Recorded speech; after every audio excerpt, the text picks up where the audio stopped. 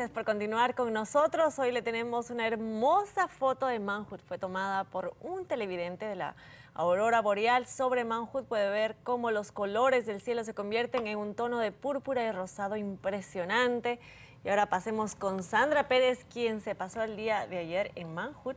¿Pudiste ver a la aurora boreal, Sandra? Pues no, no lo vi porque no me quedé hasta, hasta la noche, pero ese lugar verdaderamente es hermoso y así es la mayor parte del noroeste. En cuanto al clima de hoy, las temperaturas estuvieron bajo lo que es normal para julio, solo registrando 77, debemos de estar de 80 o más y esa fue la máxima de hoy lunes. En estos momentos estamos vigilando la posibilidad de tormentas eléctricas que pasarán rápidamente sobre los Cascades y puede que lleguen al valle esta noche. Es una posibilidad del 20% que lleguen a nuestra región, pero si es que llegan, esperen lluvia y relámpagos esta noche y con este disturbio sobre nuestra región, esperamos temperaturas que bajen a los 61 grados como mínima. Mañana esperamos máximas de alrededor de 83, ya normalizándose un poquito las temperaturas. La posibilidad de presenciar tormentas eléctricas se quedarán con nosotros hasta el día de mañana, cuando este el disturbio finalmente sobrepase nuestra región y nos deje en paz. Eh, viene también cargado con un poquito de precipitaciones para el día miércoles miércoles. Esa es una posibilidad. Mañana esperamos cielos parcialmente nublados, igual para el miércoles y a partir del jueves parece que el verano regresará. Veamos más de cerca las temperaturas alrededor de su ciudad para el día de mañana. 80 por toda la región, 83 en Troutdale y Vancouver y Portland, 79 en Kelso, 83 también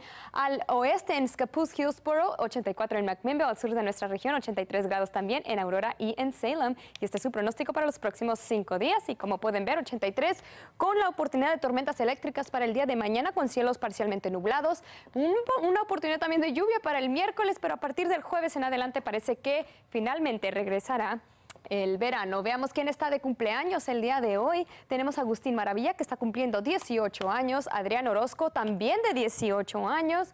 Tenemos a Daniela Ávila Mendoza, cumpliendo 8 añitos. Y a una quinceañera, Ariana González. Muchas felicidades a ella, que hoy cumple sus 15 años. Felicidades a todos sí, Claro que sí. Muchísimas gracias, Sandra. qué bueno, pues que viene el sol el fin de semana. Claro que sí. bueno, hacemos un corte comercial, pero antes veamos un adelanto de lo que nos tiene preparado Enrique Caicero en los deportes.